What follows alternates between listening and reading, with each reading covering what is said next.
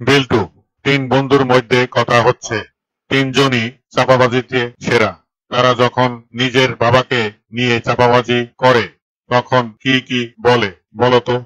Sir, প্রথম বন্ধু বলে, আমার বাবা দৌড়ে বিরাট চ্যাম্পিয়ন, একাই টেনিস খেলে। একবার এদিক থেকে বল মারে, বল অধিক পৌঁছানোর আগে নিজেই উল্টো দিকে পৌঁছে যায়।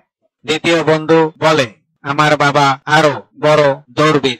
বন্দুক থেকে গুলি ছোড়ার পরে গুলি লক্ষ্যে পৌঁছানোর আগেই পৌঁছে যায়। তৃতীয় বন্ধু বলে, আর আমার বাবা সরকারি চাকরি করতেন। তিনি সবচেয়ে বড় দৌড়বিদ অফিস ছুটি হতো পাঁচটায়, তিনটার সময় বাড়ি চলে আসতেন।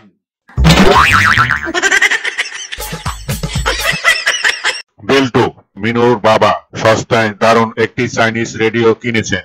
রেডিওটি বাড়িতে কিনে এনে মিনুর হাতে দিল। এরপর মিনু কি বলতে পারে বলতে পারো? স্যার মিনু বলে কি বোকা বাবা কবে তোমার বুদ্ধি শুদ্ধি হবে বলো তো? আমরা তো চাইনিজ ভাষাই জানি না। তাহলে চাইনিজ রেডিও দিয়ে কি করব?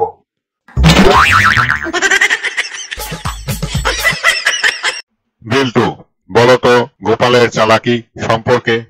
স্যার রাধা কৃষ্ণচন্দ্রের এক সভায় বিদেশির আগমন হয়েছে। তিনি ভারতীয় ভাষা তো বটেই, তার পাশাপাশি ইংরেজি, ফরাসি, ফার্সি ও অনর্গল বলে যাচ্ছেন।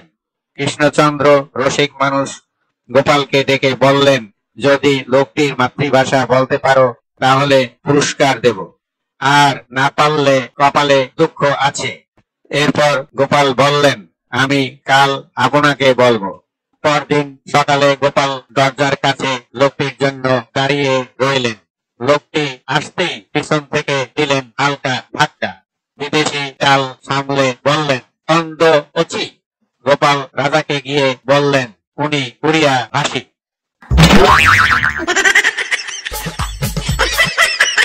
বেল্টু বলতো যে ভুল স্বামী আর করতে চান না কি হতে পারে? স্যার স্ত্রী বলে, ওগো, জানো, আজ একটি বিশেষ দিন। স্বামী বলে, কিসের বিশেষ দিন?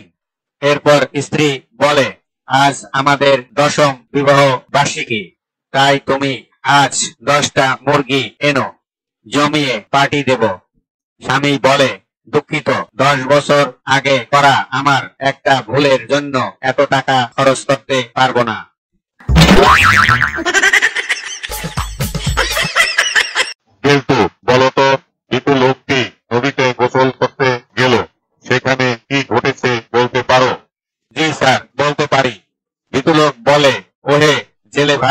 নদীতে সাপ নেই তো? জেলে বলে, না, ভাই, সাপ নেই। বিতুলোক বলে, তাহলে তো নিশ্চিন্তে গোসল করা যায়?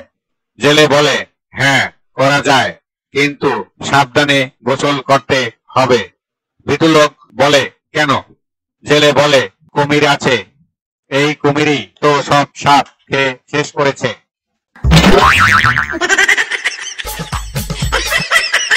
বিল্টু, বলো তো প্রেমিকার চোখে গরু খোঁজা কীভাবে সম্ভব? স্যার প্রেমিক বলে তোমার চোখ খুব সুন্দর।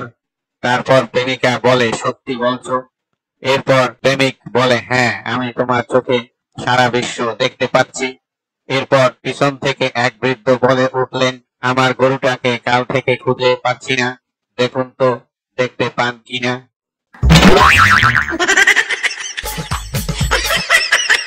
বিল্টু বৃদ্ধ বাবার ছেলে, জেলে বন্দি। বাবা ছেলেকে জেলে চিঠি লিখলেন, আমার অনেক বয়স হয়েছে, এত বড় জমিতে চাষ করা আমার পক্ষে সম্ভব না। তুই থাকলে একটু সাহায্য করতে পারতিস। ছেলের কর্তব্য কি বলতে পারো? স্যার, ছেলে জেল থেকে বাবার চিঠি জবাবে লিখলো, তুমি ওই জমি খুঁড়তে যেও না। জমিতে আমি আমার সব চোরাই মাল লুকিয়ে রেখেছি। পরের দিন কয়েকজন পুলিশ গিয়ে পুরো জমি ঘুরে ফেলল, কিন্তু কিছুই পেল না।